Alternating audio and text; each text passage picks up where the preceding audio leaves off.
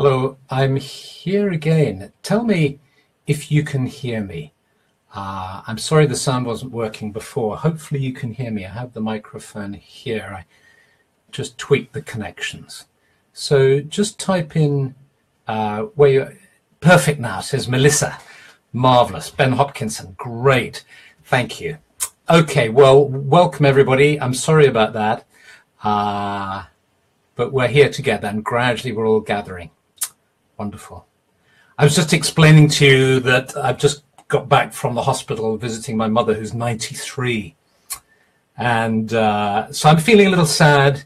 Um, but what I was saying was uh, that it's in times like this that I really appreciate having a spiritual path, having a sense of belief, having uh, believing in the other world, actually, uh, believing that we have a there is a continuity of consciousness after death, uh, which is why I posted that video. I don't know if you've seen it. I posted it up on the, around the winter solstice, uh, called uh, "The Fear um, Overcoming the Fear of Death" or something like that. It's a wonderful TED talk by a doctor called Thomas Fleischmann. If you haven't seen it, do look at it. It's just fantastic, and um, all the family here have watched it, and it's very reassuring. So, uh, so it's lovely to hear. Here's Adi from New Zealand, fantastic, and somebody down the road from Brighton, Emma Raven Noir, wonderful. Okay, so you know, um, last week we talked about what it meant to be an ovate a little bit and this week, uh, the previous week, we talked about what it meant to be a bard. And this week, I wanted to talk a little bit about what it means to be a druid. And um, there's a way in which, you know, I equated the bardic work as working with the heart, opening to the wisdom of the heart, finding those stories, that color, that connection, that sense of community uh, is one of the ideas of working the Bardic tradition. And then as you move on to working in the Ovate tradition, um, we are working with the body. Although we're working with the other world and with shamanic journeying and traveling into other worlds, uh, but we're also at the same time rooting ourselves deeply in the earth, connecting with plants, with animals, and with our own body, the mystery of our genetics, our ancestry, our heritage, what it means to be embodied in the world. So, so if the bardic grade relates to the heart, the ovate grade relates to the body, I'd like to suggest that the uh, druid grade relates to the mind. So we have body, heart, and mind that we're working with through these three levels.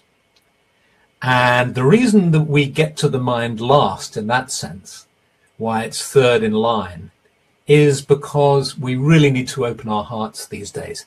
You know, our educations are focused on on feeding our minds and developing our minds, uh, with uh, a consequent lack of emphasis on on working and feeding the heart. So we start off with the heart, and uh, we move to our bodies, and then we move to our mind.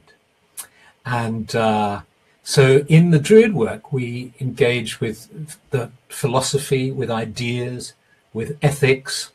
Um, and uh, there's a way in which you might say that the juicy topics get covered. So that if we if we kicked off with topics like ethics right at the beginning, uh, maybe people wouldn't take all the training. Uh, but by the time you get to the druid grade, you realize that these these things are important. And you work with the ideas of, of leadership, the idea of leadership and of giving. If the spiritual life is characterized by sorting yourself out and being of some use, to be very mundane about it, uh, uh, sorting yourself out, in other words, developing clarity, uh, clearing some of your stuff, and then seeing what good you can be in the world and being of help, radiating.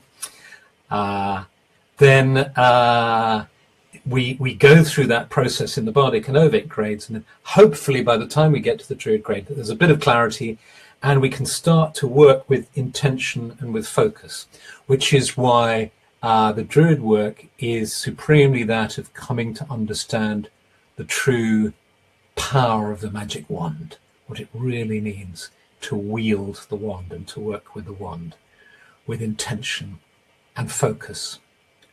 Hello from Biella and Vermont. Lovely. Um, and so, if you think about this, the, the easiest way, perhaps, to think about what a druid is is to um, think of the word itself. This beautiful word formed of two syllables, dru and id. Dru, which means uh, the oak, uh, or possibly steadfast, oak or steadfast, two etymologies, and id, which essentially means wisdom and knowledge. They're both Proto Indo European roots, so, a lovely connection to perhaps our shared spiritual ancestry with our brothers and sisters in India and the Dharmic traditions.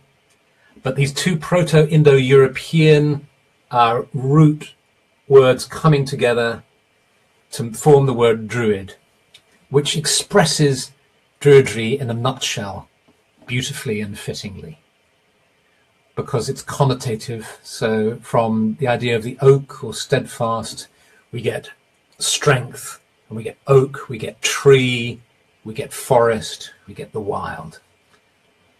And id, we get this the ideas of knowledge and wisdom. So wild wisdom, the wisdom of the forest. So the druid is the forest sage. And for to be a forest sage. Let's all be forest sages now as we imagine ourselves seated in the sacred grove. Wonderful tall oaks around us, or cedar trees, or whatever trees feel right to you, which appear in your grove. And you can sense them all around you, their roots deep in the earth. And sense yourself sitting on the earth now and just letting yourself relax, all the tensions and stresses of the day falling away, feeling really connected to the earth and its healing rhythm. And then take a deep breath in, deep breath out. And as you breathe in and out, you can breathe in the smell of the trees you know, the wonderful thing about breathing in a, in a forest is you are actually breathing in particles of the tree. There's a whole science to this of the chemicals that the trees excrete through their leaves, which you then breathe into your body. They go into your lungs and through your lungs into your blood. So literally your blood is being changed when you sit in the forest and breathe breathing in and breathing out, extremely healthy for you. And then you sense these trees like mighty, majestic beings around you, and then the sky above you. And here it's night time. I know there's some of you in the other side of the world, in New Zealand and South America. For you, it's daytime. But my grove has got stars shining above.